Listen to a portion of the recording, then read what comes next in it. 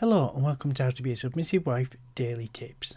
Today's tip is A submissive wife should not start telling her husband about her worries and problems when he walks through the door. Your home should be a place of peace and love for him. Give him some time to unwind and relax a little before you discuss your worries and problems.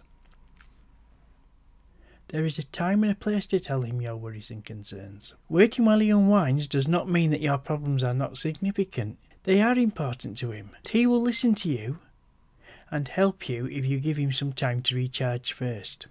Don't forget that his day will have had issues as well.